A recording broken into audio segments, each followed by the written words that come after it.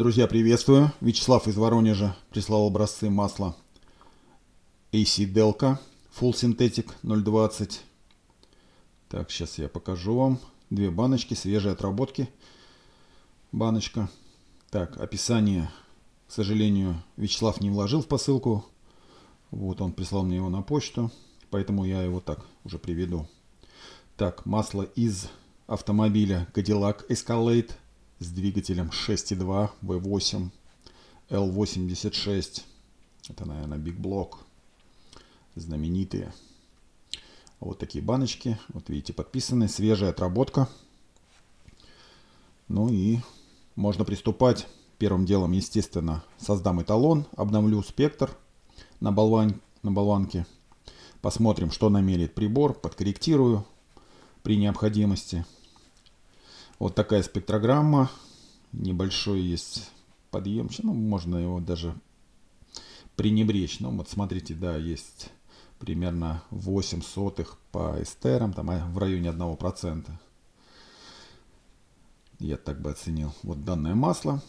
Так, параметры, лимиты. Ну и посмотрите, значит, 89% по противоизносным присадкам. Да, чуть меньше, там чуть ослабленный пакет. Все-таки это двадцаточка. А, значит, к сожалению, нету описания данного масла. Был сайт российский. Сейчас он закрыт, видимо, в связи с последними событиями. Так, значит, э, гликоль. Сажу подкорректирую. И обратите внимание на, значит, кислотное 1,59 и щелочное 7,3. Очень правдоподобные цифры. Я даже не стал их э, трогать, не корректировать. Мне кажется, все это очень похоже. Значит, э, допуск SN плюс с учетом LSPI, преждевременной вспышки. То есть, ну и все, эталон создан. Можно приступать к проверке отработки, как я уже говорил. Кадиллак это 426 лошадиных сил, 110 тысяч пробега. Пробег на масле 340 моточасов, средняя скорость 38,8. И была доливка от 800 до литра. Ну и смотрите, значит, противоизносных присадок 63%, гликоля 1 десятая, ну это может быть погрешность, нитрование и окисление. Вот когда два одновременно параметра загораются там желтым, красным, это может свидетельствовать, как правило, о перекате. Масло перекатано, значит, э, процесс сгорания неплохо, в общем-то, происходит. Ну, нормально. 4 а, сотых пассажи. Видим, нарастает кислотное и провалилось щелочное. Ну, масло явно перекатано, на мой взгляд, это скорость высокая. Видите, даже воды не намерил прибор, все там, все выпарено. Вот, но явно перекатано масло. Для двадцатки, я считаю, 340 это, конечно, очень крепко. С учетом того, что особо здесь не видно там какой-то четвертой, пятой группы. Так, значит, сейчас покажу вам сравнение вязкости. Посмотрим, что с вязкостью произошло. В общем, должно быть более-менее нормально все, потому что 38,8 средняя скорость. А, ну да, более-менее 31% от максимального.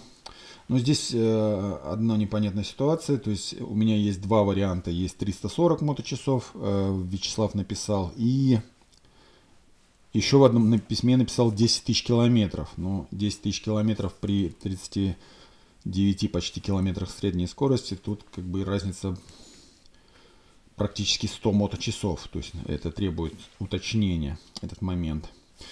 Ну, смотрите, значит, я все-таки посчитал как 340 моточасов. Мне кажется, это правдоподобно, с учетом того, что перекат. Ну и масло, в общем-то, для двадцатки, мне кажется, неплохо отработало. 278 часов в этом моторе. А, больше 10 тысяч, ближе к 11 километров. Значит, по нитрованию, видите, так 350. Ну и с вообще проблем нету. Значит, э, пробег небольшой для такого мотора. Он должен быть очень крепкий мотор. Вот. Но есть расход. Скорее всего, я вот так думаю, что анализирую, вряд ли это износ естественный, 110 тысяч, это ну, несерьезно. Скорее всего, здесь, мне кажется, клапан вентиляции картерных газов надо смотреть, потому что нитрование, ну, такой высокий уровень достаточно.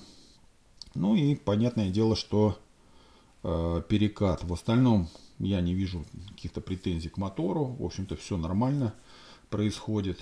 Даже на таком пробеге 63 еще остаток по противоизносным присадкам тоже как бы нормально. Ну и сажа. Ну, для такого пробега это, скажем так, нормальная сажа. Вот.